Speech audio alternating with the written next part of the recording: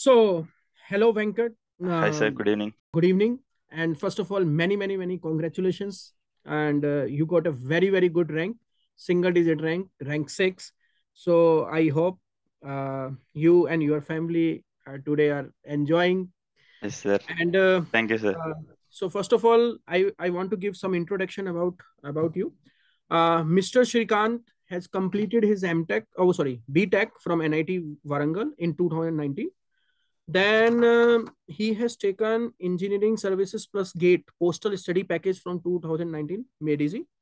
Then in GS online batch, engineering services 2020, made easy. Then um, um, uh, you have taken the mains batch online 2021 and 2022, both here, Yes, and interview guidance program also. Okay Yes, sir. and uh, you are working with some company also already and along with the uh, working uh, you are appearing for the engineering services. And uh, uh, you have mentioned that in 2021 you have appeared in the gate exam and you got 543 rank. And uh, then in 2019 and 2020 you have appeared in prelims but uh, prelims is uh, qualified but you are not able to clear the mains. In 2021 you have cleared the mains but interview is not qualified. And then in 2022 you have cleared everything prelims mains interview everything and a very good rank.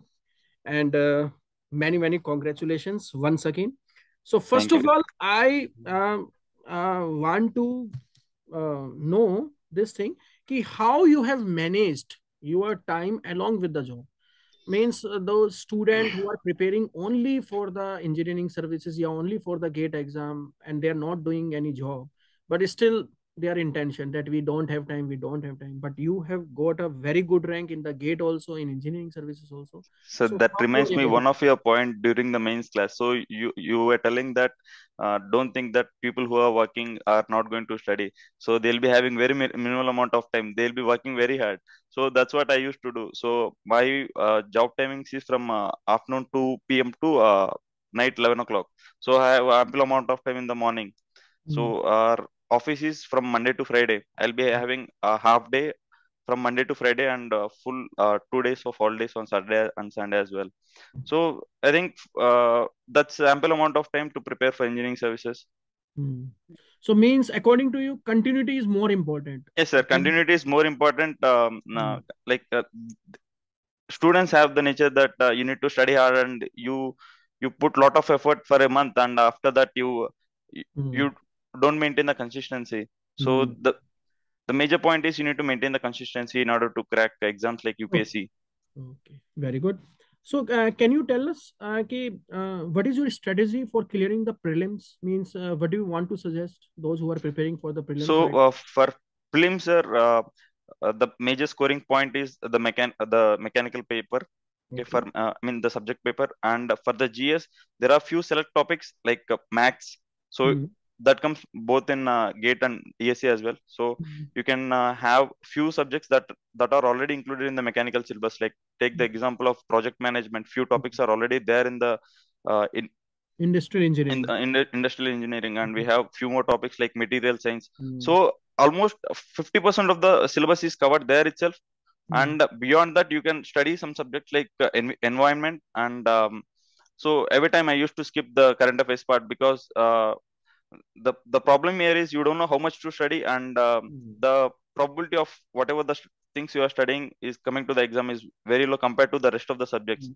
so if you are pre- uh, if you are thoroughly clear with the uh, mental ability as well as uh, the math there you can show shot get 20% of the gs paper Okay, okay, fine. So, according to you, uh, what do you think means what is the safer score for the GS part? Because I have seen ki so many students are taking tension of GS only. Means they are not focusing on the mechanical, but they are taking tension only for GS.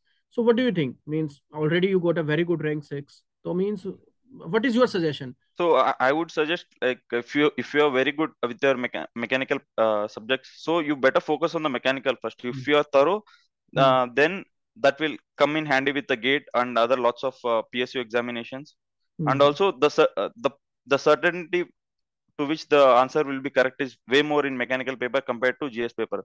Okay, okay, fine. And uh, uh, for how many uh, old papers you have uh, practiced uh, for the mechanical prelims? Means uh, for mechanical years, papers, 12, 15 years, 20 years, how much? So uh, I I got the 25 years um, previous year's question pa paper from um, uh, MADE EASY. Mm -hmm. So I used to do it daily on a regular basis. So I used to solve all the questions one by one, and I used to eliminate few questions which were out of syllabus. So mm-hmm. uh, when I was preparing in my college on my own in back in 20, 2019, I didn't know that a few subject, few topics were removed uh, in 2017. Mm-hmm. So I was doing those as well. Very good. So means uh, uh, you want to say that means you have completed last 25 years paper full.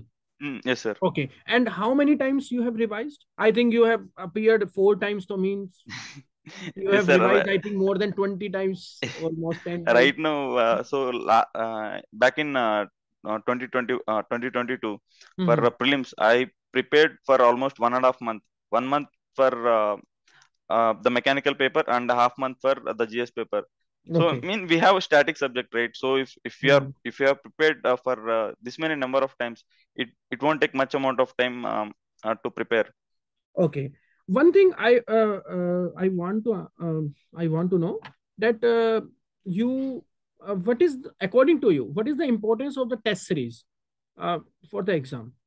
So uh, test series see uh, first you are thorough with your concept subject everything. So mm -hmm. uh, test series comes into play. So uh, the motive of giving the test series is not to gain the marks.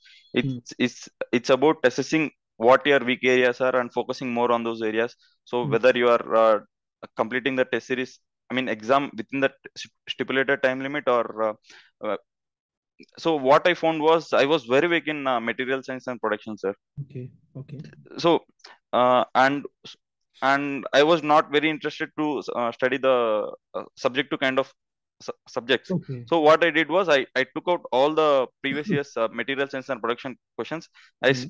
I started analyzing and from which concept what kind of questions are coming. So I ma- I made a note of that and I used to uh, just remember those questions. Okay, so means you want to say ki, means uh, the students have to be appear in the test series, but don't take it on ki, if you are not getting good marks in the test series, so means don't get demotivated. Instead yes, of that, prepare on the weak part. Means find out your weakness and then work. And one more thing you need to assess is am I improving on a uh, daily or a weekly basis? Like, let's say I gave a, a test series last week and I got, mm. uh, let's say, some uh, uh 150 marks out of 300. So okay. in the next series, I, I need to make sure that it should be more than 150. Mm. So that should be our uh, primary focus instead of uh, focusing on the 150 mark. Means continuous improvement. Continuous improvement. Continuous improvement is there. Very good. And um, what about the mains? What do you suggest? Means you have uh, attended the ES mains batch online two times 2021 and 2022 so what yes, do you think uh, in the mains batch um, you are getting some benefit or yes sir. sure, surely for people who are working so they can't go to delhi for uh, offline classes.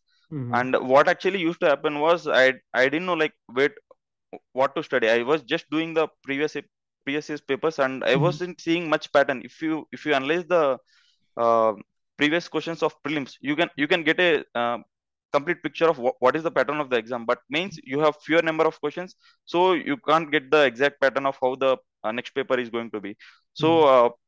so uh, unfortunately in 2019 there wasn't any online classes mm-hmm. for mains so i had to uh, prepare from previous years and and same for 2020 as well mm-hmm.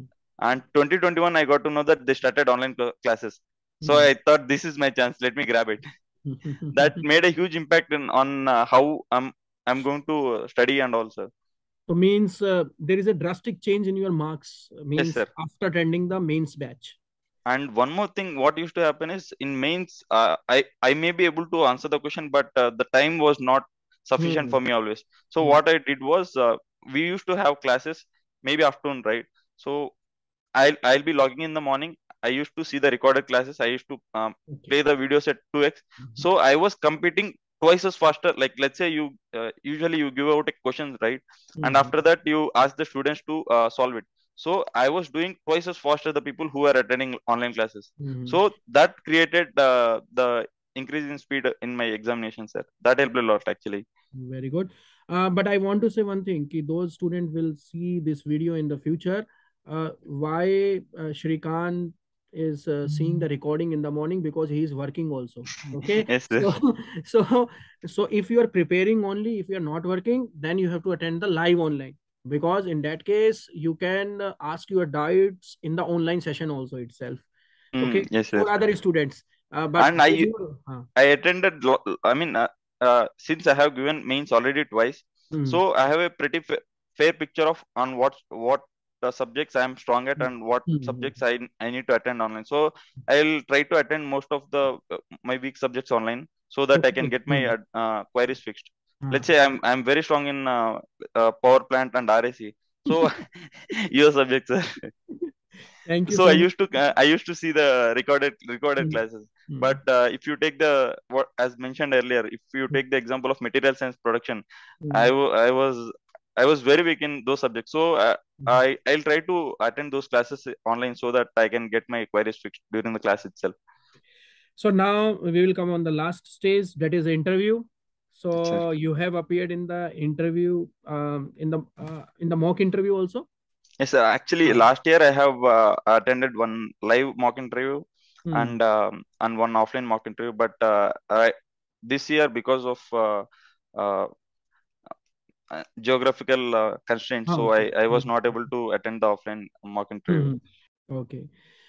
So uh, thank you so much uh, for the session and for the useful information which you have shared. So in the last, uh, just uh, we will conclude.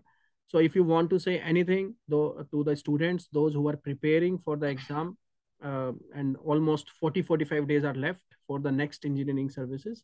So any final comments from your So uh, if if you are uh, so l- let's make sure one thing. So try to gain as much marks as possible in the mechanical paper Mm. because you for each question you have the same weightage for GS and uh, mechanical. So in GS there are few topics like uh, mathematics, aptitude, and uh, project management, quality, and um, uh, I think uh, environment is also a scoring subject. So Mm. try to cover these subjects first instead of going to current affairs. So Mm. people what I used to uh, think is current affairs is a new very new thing for me. Mhm. Let me concentrate on this. So they are they are forgetting the fact that mostly all of the subjects are equally distributed. You need to uh, score as much as possible where you're strong and uh, try, try to get onto the weak parts at the later stage. Mm. So that's that's what I used to do, and I would suggest the other uh, students as well to do the same. So thank you so much, uh, Srikanth. Uh, Mm, you have thank you, sir. shared so many useful information, and uh, wish you a best of luck. And uh, I wish you will become IAS also, and then and uh, we will meet again in the interview and the toppers talk. So thank you sure, much. sir. Thank you, sir. Have a good day.